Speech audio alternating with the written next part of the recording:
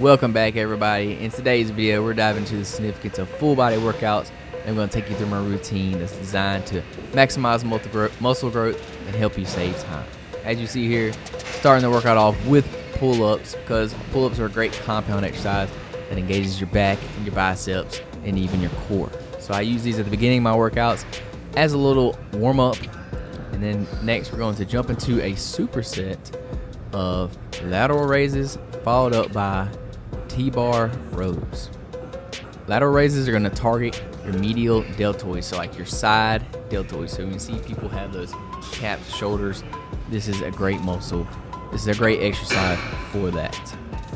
It's going to help you build round shoulders and improve your shoulder width, which is going to enhance your upper body aesthetics. When you have that wide uh, upper body, it just makes you look bigger and gives you that more V taper look that most people are going for. And then here, as you can tell, we jumped right into T-bar row.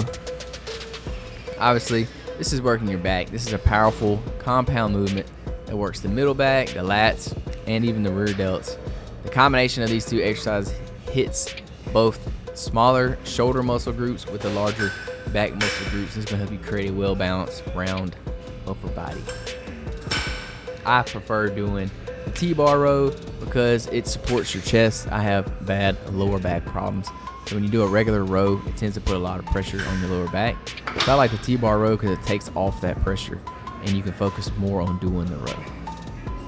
So here as you can see, I'm doing the lateral raise standing and there will be a little swaying when you lift the weights, but you want to try minimizing the, as much momentum as you can. You don't want to sling the weight up. You want to try to keep all that tension on your on the lateral head of the shoulder while you're lifting. Instead of going out straight to your sides, you want to go out almost like a 45. You should be able to see the weights in your peripheral vision when you're doing the lateral raise. And here's another view of the T-bar row. So I'm really thinking squeeze my back. I'm trying to pull my back here. I'm not trying to pull my biceps at all. Yeah, you will use your biceps a little bit, but you want to mainly keep that focus on your back. And then I'm letting my arms extend all the way down. So I want to lock the elbow all the way out to get even more stretch on the back. You can even see my shoulders kind of round forward a little bit. That allows for a little bit more stretch when I'm lifting the weight here. And that's going to bring us to our next superset. We are going to do the seated leg press. This is pretty common leg workout you'll see uh, in pretty much every commercial gym.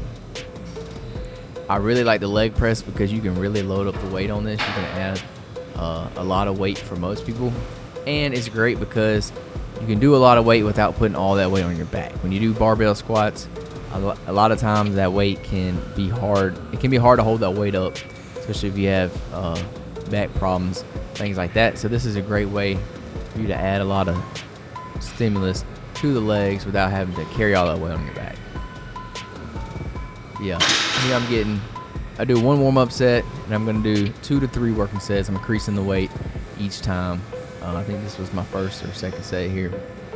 Uh, we're just warming up, trying to loosen up the legs here, um, and then we'll add some weight each time as we go.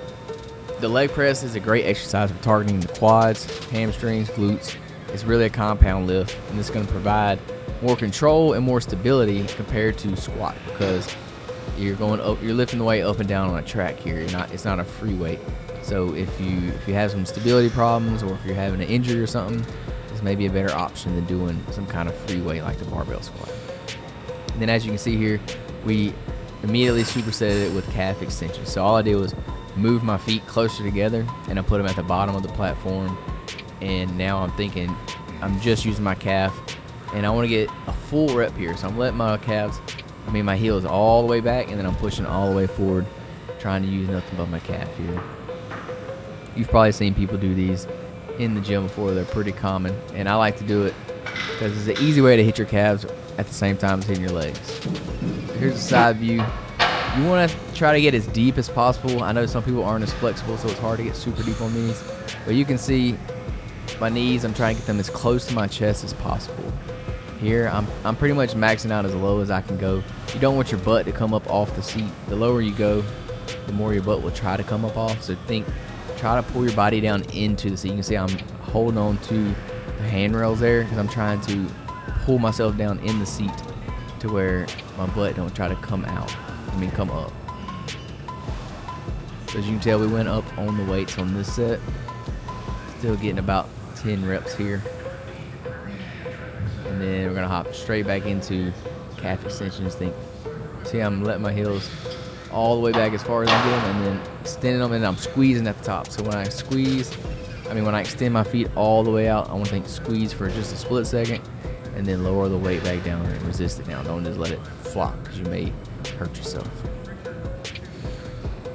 Don't neglect the calves. I know most y'all got small calves anyway, so go ahead, train them while you're there. If you're on the leg press, you might as well knock it out at the same time. Next, we're going to hop into an incline machine press. So these are the hammer, hammer strength machines that we have at our gym, and I really like these machines. I think they have a good uh, movement pattern to them. This is obviously is going to work the chest. I like to mix up doing incline and flat press, but honestly, in most, in my opinion, I think most people should be doing incline because I think when you build that upper chest, kind of gives you that well developed chest where you can see it, you can see it pop out in your shirt more. It's gonna make you look a little better in your in your shirt. So I would suggest most people train incline press. It's gonna isolate the upper chest and even your front delts as well. You'll work your front delts here too. Using that machine allows for a steady controlled motion, which is ideal when you're trying to maximize muscle uh, activation and also avoid injury at the same time. So I didn't superset the incline press, but next we're hopping into another superset where we're going to do arms. So we're doing biceps and triceps. As you can see here, we are doing the barbell curl. And barbell curls are great because you can really add a lot of weight. You can you can put a lot of weight on the bar and really put some stimulus on the biceps and really have that progressive overload.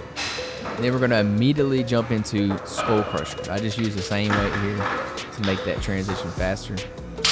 I just turned around on the bench using the same weight. Now we're doing skull crushers.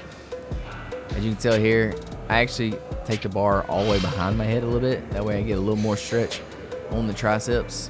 And then I want to not extend my elbows all the way out, just so I can keep that tension on my elbows. You can see there, right, right as I get to the top, well, yeah, right there, I go ahead and come back down. That way I'm keeping that tension on the triceps the whole time.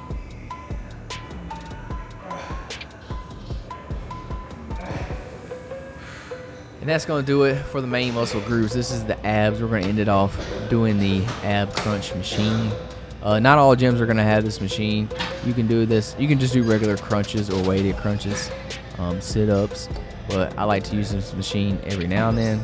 We're going to get about three sets of 15 to 20. When I do the abs, I like to do higher uh, reps.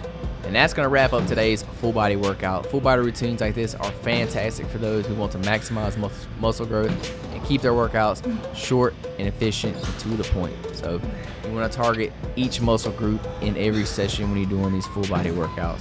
And that's going to be great for you to maximize those strength gains and the fat loss. So thanks for watching. If you enjoy this, don't forget to like, subscribe, comment with your favorite full body workout exercises. And until next time, y'all keep pushing forward.